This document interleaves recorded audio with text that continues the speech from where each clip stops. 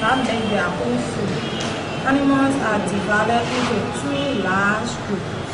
They are vertebrate animals and invertebrate animals. Invertebrate animals are animals with backbone. Vertebrate animals are animals with backbone.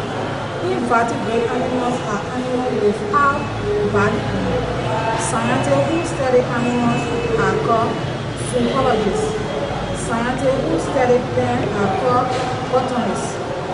Mammals are animals that live in dry land with rough, dry skin. They are, example, crocodile, alligator, and lizard. Birds are animals with birds are animals that have warm-blooded warm-blooded animals. They are, example, they have two legs, wing and feather.